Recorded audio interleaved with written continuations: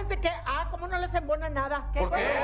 Que si hace, que porque haces. Que si no hace, que porque no hace. Que si pinta, que porque pinta. Que si canta, que porque ¿De qué canta. Bueno, hablas? pues estamos hablando de Mar del Regil, la hija Ah. de Bárbara del Regil. Ok. Pues ella bien gustosa puso sus pinturitas a la venta y lo hace en sus redes sociales y pone Sí. qué es lo que está vendiendo. A ver. Obviamente son caricaturas que ella pinta Ajá. o de personajes que nosotros ya conocemos y demás. Simpson. Bueno, la cuestión es que ella pone estos cuadros ¿Cuánto que ella está haciendo de 3 mil pesos para arriba. Órale. Bueno, la cuestión es de 3 mil pesos para arriba. Las caricaturas. Obviamente son copias, pero dicen más baratitas, ¿verdad? Que las originales. Eh, pero dicen, sí. ¿Cómo las estás vendiendo así? ¿Por qué las pones? Bueno, que O sea, las les originales gusta. valen más baratas que las que está haciendo la niña.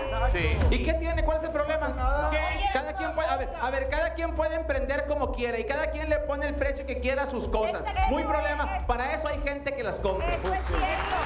Lo que no se vale es que las vendas como originales cuando sabemos que ya existen, son copias.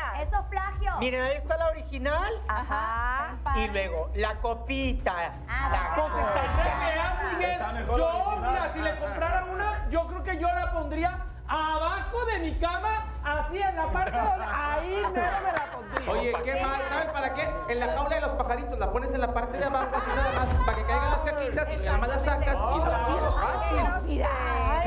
Y también, ¿sabes qué? Para tapar la caja de los fusibles, la pones así, se ve bonito. A ver, a ver, ya, ya, ya dejen de criticarla. A ver, por la Si no caja. quieren, no la compren y ya. Mire, ese es su problema. Cada quien es dueño de vender lo que quiera y de ponerle precio a su trabajo y a su talento. Si ella lo quiere vender en ese precio, habrá quien se lo compre, habrá quien no.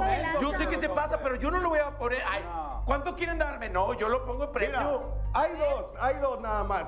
Una cosa es que estén caras y la otra es que no te alcance, es diferente. Eso. Y la otra, hay, eh, cada quien paga el precio por el artista que tú quieras, aunque sea un plagio, aunque sea una copia o como le quieras llamar, ella lo está haciendo con sus manos y eso es lo que está cobrando. Yo tengo, yo puedo hablar desde mi experiencia, A ver. porque uno de los tatuajes que yo tengo, decidí hacérmelo con cierta persona que costaba casi el triple que cualquiera que lo puede hacer. ¿Y eso qué con las pinturas? Porque es el artista.